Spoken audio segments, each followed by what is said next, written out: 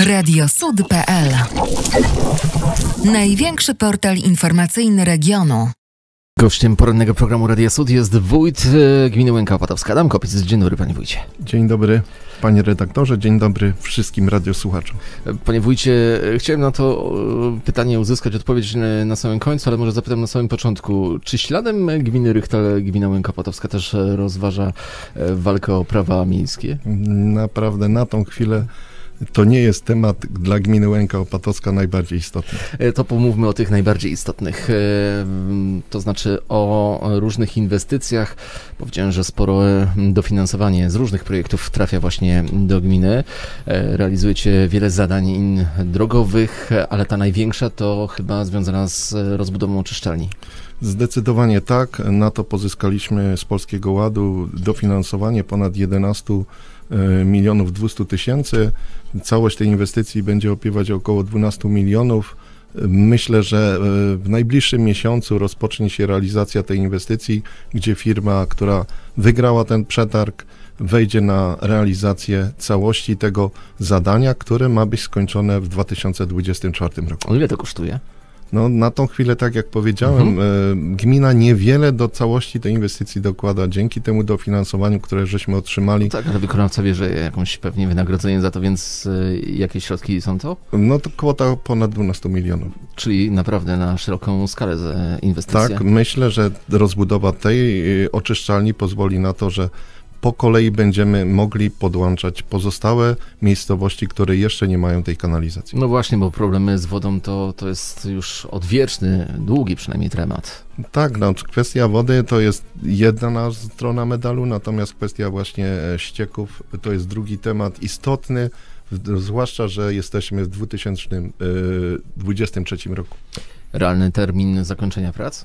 Realny termin to myślę, że będzie po, opiewał, tak jak powiedziałem, e, pod koniec 2024, ale już po drodze będzie kwestia realizacji kanalizacji, która jest kolejnym dużym zadaniem dla gminy Łęka Opatowska i to pozwoli również na to, że będziemy mogli w międzyczasie już podłączyć kolejne e, miejscowość, jaką jest Siemianice i po drodze kolejna część Szalonki, która jeszcze nie została skanalizowana do Czyli końca. cała ta inwestycja jest jakby podzielona na różne etapy, tak, żeby, żeby Dokładnie na, rozbudować. praktycznie na cztery etapy, abyśmy mogli tą część gminy, ale przecież w kolejności czekają kolejne sołectwa, które nie mają tej kanalizacji. Jakie zadania już udało się zrealizować e, w ostatnich miesiącach, bądź są w trakcie realizacji? Znaczy w ostatnich miesiącach, w ostatnim czasie bym powiedział, to jest kwestia nitki y, wodociągowej i kanalizacyjnej w Rakowie, gdzie ta infrastruktura była potrzebna i była na to e, stosowna umowa podpisana.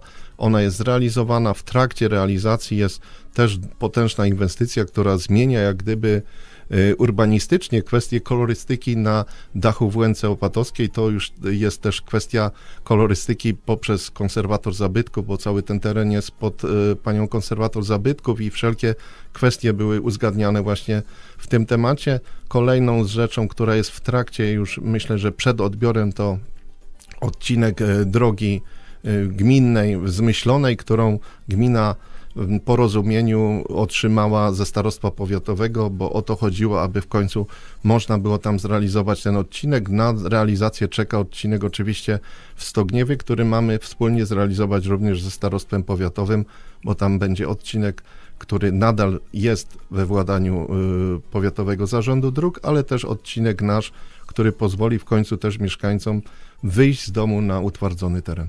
A w planach?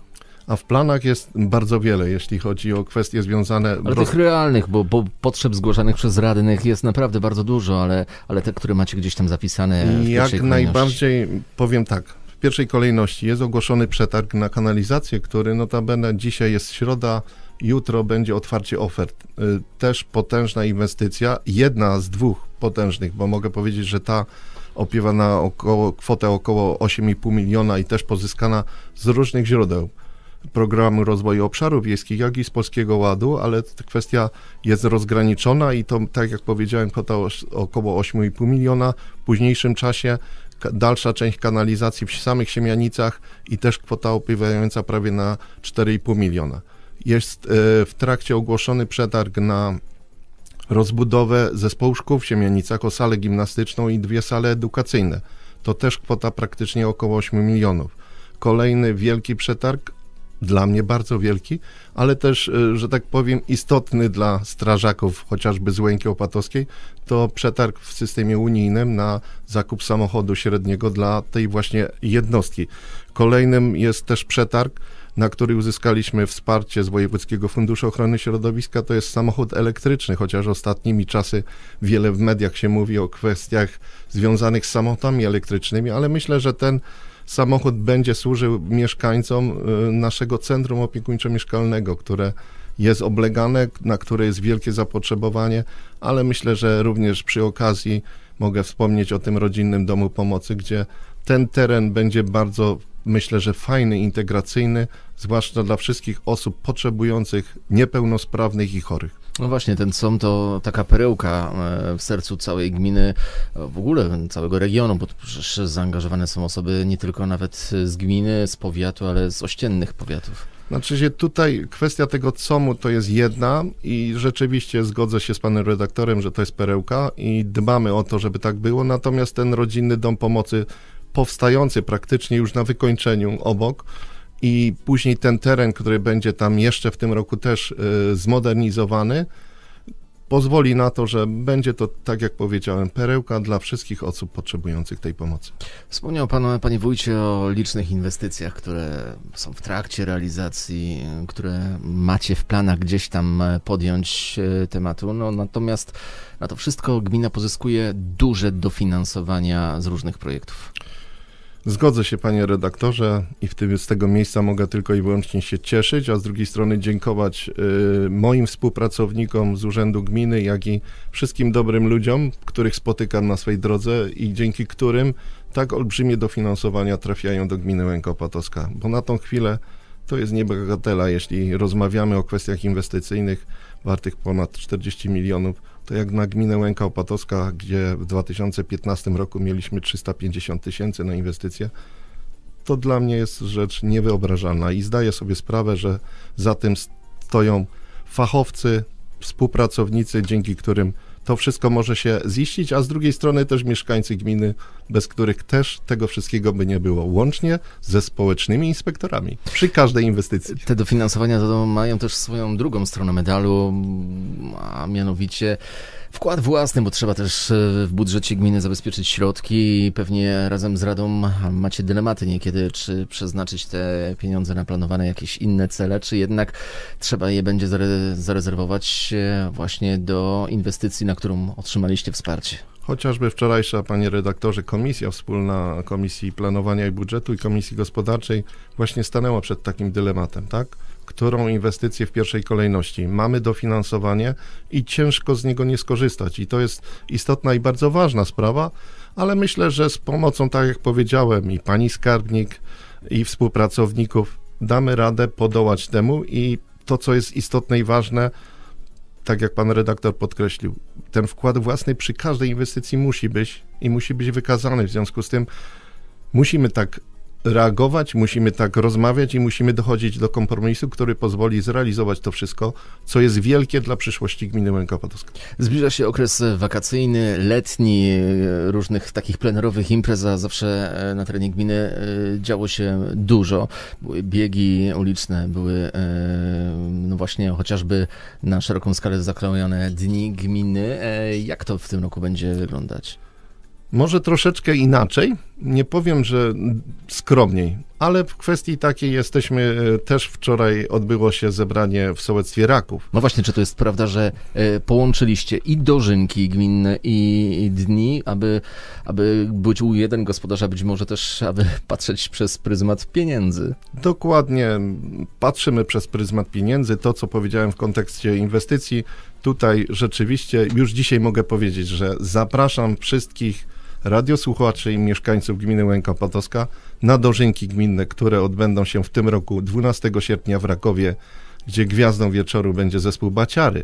Natomiast drugiego dnia, czyli w niedzielę, odbędzie się tak zwany Dzień Gminny. Nie Dni Gminy, ale połączeniu z dożynkami. Z tak, ulicznym. w niedzielę odbędzie się tak jak co roku e, dzięki współpracownikom e, odbędzie się bieg Myślę, że tak jak zawsze w porozumieniu z organizacjami, a zwłaszcza ze strażakami, którzy to zawsze odpowiadają nam pozytywnie i zabezpieczają ten teren i zawsze to odbywa się bardzo profesjonalnie, przygotowane e, przez panią Karolinę. Natomiast kwestia związana z tym, co i jak będzie jeszcze wieczorem tego drugiego dnia, to najbliższy czas pokaże i jeszcze nie chcę zdradzać tej tajemnicy. Czyli takie, mm, taka nowość w naszym regionie, czyli połączone dni gminy Łęka Opatowska razem z Dożynkami, aby cały weekend był huczny w Rakowie w tym Dokładnie. roku w sierpniu. Ale to tylko, y, nie tylko w Rakowie, bo to rzeczywiście będzie impreza wielka w Rakowie i dla. Rakowa, natomiast jeszcze są oczywiście te imprezy, które, tak jak pan redaktor podkreślił, półmaraton organizowany wspólnie z innymi y, y, instytucjami, osobami, które co roku są na tej imprezie i która co roku przybiera na sile, bym powiedział, w sensie promocyjnym dla naszego regionu, dla naszej gminy. Bodajże we Jest- wrześniu to będzie. Tak, tak, dokładnie. W tym roku będzie to 17 września.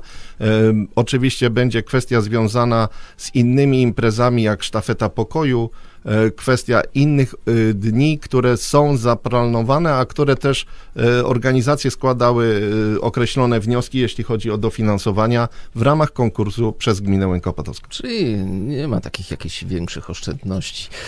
Znaczy trzeba e, gospodarnie e, rozważać kwestie związane z tym, co może być, co należy w pierwszej kolejności wziąć pod uwagę i mówię, i trzeba rozmawiać, a wtedy wszystko myślę, że jest rezolutnie rozważane i, i wspiera, e, dochodzi do tego, że budujemy i nie tylko, ale również możemy przez chwilę się zabawić. Dziękuję bardzo. Gościem porannego programu Radia Sud był wójt gminy Łęka Opatowska, Adam Kopic. Dziękuję, dziękuję panu redaktorowi, dziękuję radiosłuchaczom i życzę miłego dnia. Wszystkiego dobrego.